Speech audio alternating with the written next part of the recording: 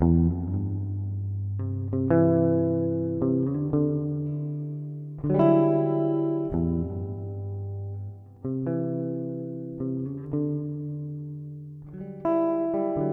llamo Alicia Hernández, soy periodista, soy corresponsal para Zoom News, un medio digital de España. Llevo en Caracas casi cuatro años. En lugar común tuve la oportunidad de estar junto con Juan Carlos eh, Méndez Guedes y Moisés Morera, el agregado cultural de España, presentando el libro de Juan Carlos Méndez Guedes, Arena Negra. Es un libro que habla sobre los exilios, sobre las partidas, los desencuentros. Y este libro coincide que yo lo estoy leyendo en un momento muy clave para mí, clave para Venezuela, que es cuando empiezan las protestas a partir del 12 de febrero. Y se crea un vínculo muy fuerte tanto con el escritor como en mi caso con, con el libro. Escritor venezolano en España, yo periodista española en Caracas y, me pregunta un poco sobre la situación, cómo está, qué está pasando, porque él no tiene mucha información ¿no? acerca de, de lo que ocurre acá. Bueno, lo que está pasando en Venezuela es un poco el, digamos, la consecuencia, podría ser de los últimos 15 años, pero vamos a ser más,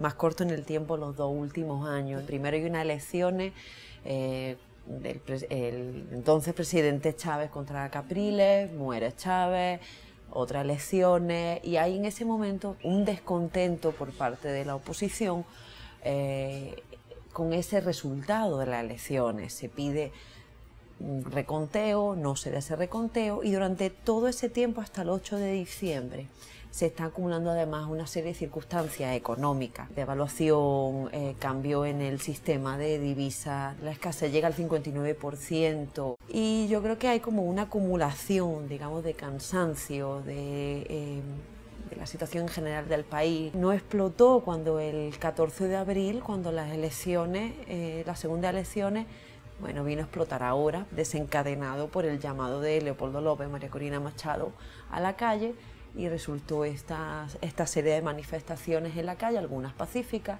otras violentas. Ha sido fuerte, ha habido acoso a los periodistas internacionales y a los periodistas nacionales por parte de la Guardia Nacional, por parte de distintas personas del gobierno, por parte de opositores. En las redes sociales ha sido constante. A mí, por ejemplo, me han atacado, me han dicho cualquier cantidad de cosas desde eh, cuentas opositoras y cuentas chavistas, que me vaya de este país, que me van a deportar, que si soy agente de la CIA, del otro lado que si tengo postal de arepa.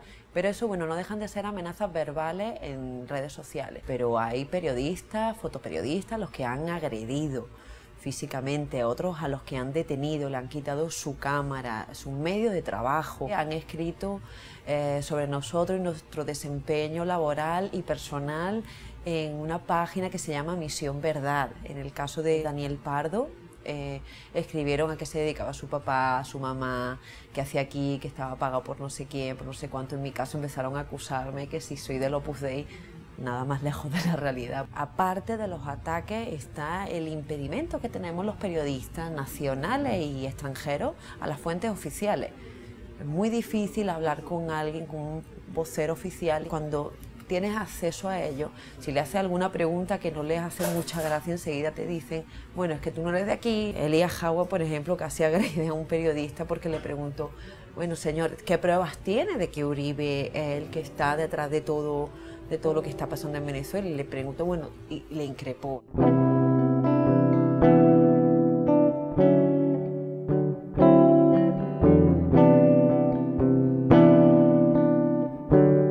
Está claro que los estudiantes están muy involucrados en este proceso y en mi caso soy profesora de, la Universidad Monte Ávila y no he sido ajena a esto. Mis alumnos me han pedido cambio de clase, de horario, me han pedido hacer las prácticas por eh, de modo virtual. A la primera manifestación le acompañé y le ha generado mucha inquietud porque por un lado sentía mucha, eh, digamos, impotencia de no saber qué podían hacer, cómo lo podían hacer, de qué modo involucrarse en este proceso sin hacerlo de modo violento. Uno de mis alumnos, eh, Juan Andrés Parra, él ha documentado desde el mismo 12 de febrero hasta hoy bueno, hasta hoy no, hasta que le quitaron su cámara, lo detuvieron, por suerte no lo maltrataron, pero bueno, pasó día y medio encerrado simplemente por estar tomando fotos, por estar haciendo lo que en un futuro será su profesión. Pero este tipo de detenciones, en el caso de los estudiantes, gente joven, gana, que viene con mucho cansancio por distintas situaciones personales, eh, robo, atraco, incluso profesionalmente, ven que aquí tienen un techo muy bajito, aquí no pueden eh, cumplir todas sus aspiraciones y van a tener que irse fuera. O sea, sienten que el país que lo vio nacer les expulsa. Y esto hace que tengan más ganas de protestar. Sobre el ataque que están sufriendo las universidades de todo tipo, no solo el ataque físico, salían, por ejemplo, ayer salían los estudiantes de la UCAP y a la salida le estaban atracando. Hoy, mientras está dándose esta entrevista, está ocurriendo igual en la UCB. Están atracando a los muchachos que van a estudiar, que van a formarse, que van a hacer futuro para este país. Pareciera que hay un interés no en reprimir solo las protestas, sino en reprimir al que piensa diferente o incluso al que piensa. Que una sociedad sin estudiantes, que una sociedad sin educación, sin, sin inquietud por formarse. Además, esto se, se complementa con otras cosas que están pasando. La gente está muy preocupada, por ejemplo, en encontrar cierto alimento. Mientras tú estás preocupado porque no encuentras harina, no encuentras aceite, no encuentras...